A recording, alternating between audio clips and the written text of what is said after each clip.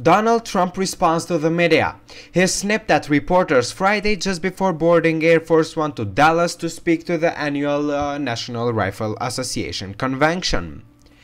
The president and his team came under fire Wednesday after um, after uh, former New York City Mayor Rudy Giuliani, the newest addition to Trump's legal uh, team, told Fox News that Sean Hannity that the president repaid his longtime attorney Michael Cohen the $130,000 for hush money to adult film star Stormy Daniels just before the November 2016 elections. As the president prepared to board on the Air Force One uh, to Dallas on Friday, reporters asked Trump, When did you change your story on Stormy Daniels? We're not changing any stories. All I'm telling you is that this country is right now running so smooth and to be bringing up that kind crap to be bringing up witch hunts all the time that all of you talk about. The exchange then became even more heated as the president and reporters battled to talk over each other.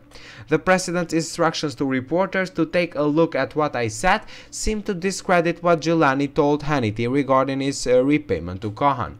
Less than one month ago, Trump told reporters that no, he did not know where the money to Daniels came from.